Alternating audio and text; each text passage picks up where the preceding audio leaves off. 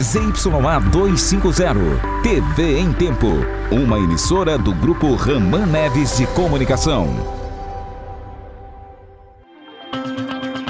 Ministérios Públicos Federal e Estadual processam ex-secretários de saúde do Estado por improbidade administrativa. E em frente aos hospitais públicos, cidadãos dormem nas filas e reclamam da falta de atendimento. Se a gente paga imposto, a gente paga o direito da gente, a gente tem que, né, ter ali coisa da gente também.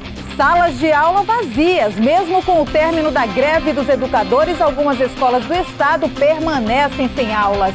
Três foragidos da Justiça do Ceará são presos em Apuí, responsáveis pela morte de mais de 80 pessoas.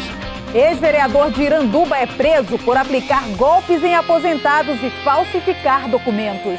E os fuzis, armas de guerra, têm chegado com facilidade às mãos de criminosos pelas fronteiras do Amazonas. O Jornal em Tempo desta segunda-feira está no ar.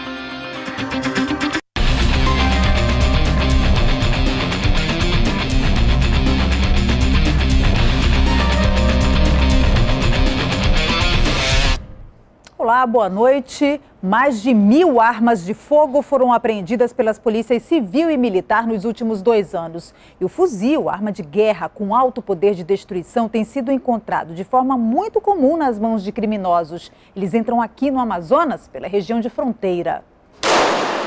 O treinamento diário simula um confronto com bandidos. A polícia precisa estar preparada. Aqui no Amazonas, a polícia usa pistolas como essas. Uma delas é a .40, que há pouco tempo recebeu um novo tipo de munição com um impacto bem maior na hora de um possível confronto com criminosos.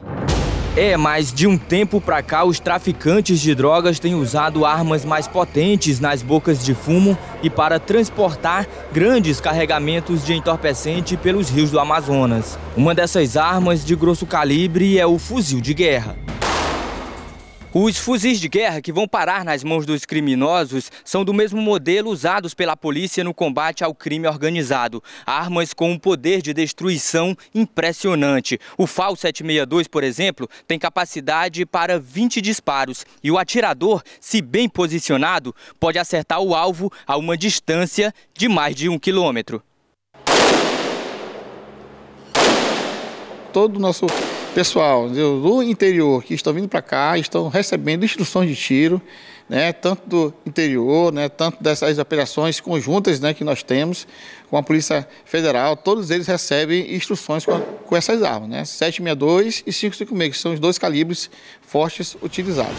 De 2016 até janeiro deste ano, foram apreendidas mais de 1.300 armas de fogo aqui na capital. Ano passado foram sete fuzis apreendidos e nos três primeiros meses deste ano o número chega a quatro. Isso é preocupante. É, é, constantemente são apreendidos fuzis, que são armamentos é, tipicamente utilizados em guerra.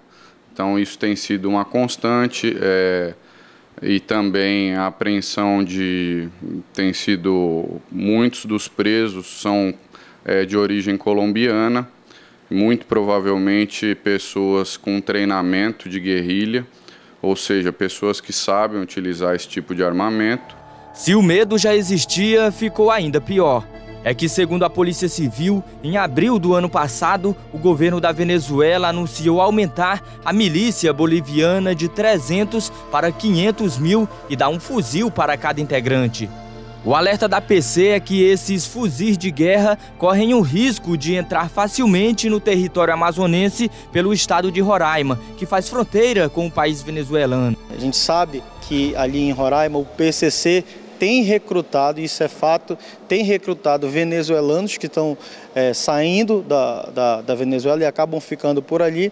E isso, esse, o PCC tem contato com o Rio de Janeiro também com relação a armamento. Esse armamento ele pode estar passando aqui pelo estado do Amazonas e é uma preocupação nossa. Rios, áreas de fronteiras e estradas que ligam outros estados à capital são os pontos apontados como mais vulneráveis. Em julho do ano passado, depois de ver os criminosos fortemente armados que a polícia, a Secretaria de Segurança Pública do Amazonas adquiriu 70 fuzis em parceria com o Exército. É, mas até agora o Estado não tem nenhuma operação ou estratégia de combate à entrada de armas de grosso e pequeno calibre no Amazonas. Então nós temos contato com os policiais de Roraima, contato com Polícia Federal e Exército. É realmente uma preocupação. E o papel nosso é, também é trabalhar com, com inteligência, é, prevenir para que uma situação dessa se instale aqui no, no estado do Amazonas.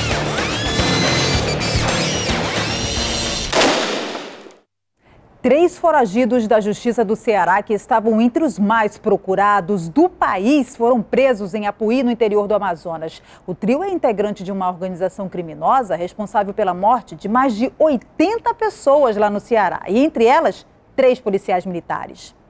O grupo denominado Novos Cangaceiros era responsável por vários crimes no Ceará. Contra eles pesa crimes como assalto a banco, roubos a carro forte, estouro de caixas eletrônicos e diversos homicídios. Giovanni Rodrigues Pinheiro e Veridiano Rabelo Júnior, o Júnior Veridiano, foram presos por policiais militares e civis em Apuí, no interior do Amazonas, depois de denúncias anônimas de moradores. Ao consultar o nome deles, constatou-se que eles tinham mandados de prisão expedidos pela comarca do, de Quixadá, no estado do Ceará.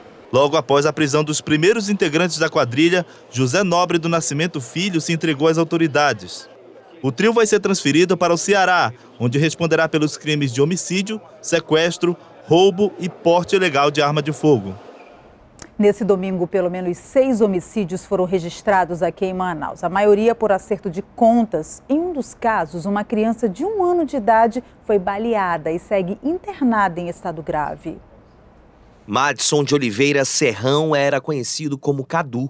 Morava com a esposa e a filha de um ano nesse local escondido do Novo Aleixo, na rua 246. Antes de vir para cá, há um mês, junto à família, ele residia no Mutirão Zona Leste. Familiares disseram que ele havia sido preso quando adolescente e que tinham pouco contato com ele. O crime foi por volta das 3h25 da madrugada deste domingo.